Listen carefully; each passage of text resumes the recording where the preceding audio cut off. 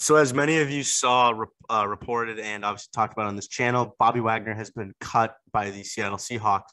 Very devastating blow to their defense as he was one of their best players on defense, even though that wasn't hard for them because they had a very bad defense. So, it has led the question where's Bobby Wagner going to end up this year? I think there's only one option the Legion of Boom defensive coordinator was Dan Quinn. Dan Quinn is the defensive coordinator for the Dallas Cowboys. I think he signs with the Dallas Cowboys, and I think that's a no-brainer. I think everybody knows that. I think if he signs anywhere else, it'll be a huge shock. Um, the Cowboys just got rid of our Amari Cooper, so that frees up a little bit of space. So now they can go sign a guy like Bobby Wagner to a contract. And I feel like that's the best fit.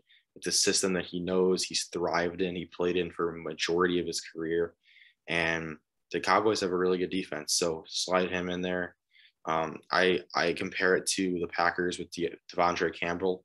The Packers already had a decent defense.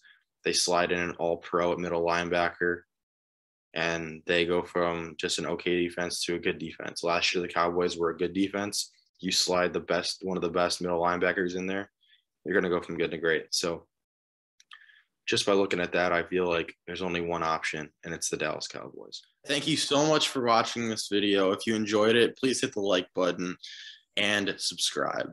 At 1,000 subscribers, we're giving away AirPods, so don't miss out on that. Thank you, and tune into the next one.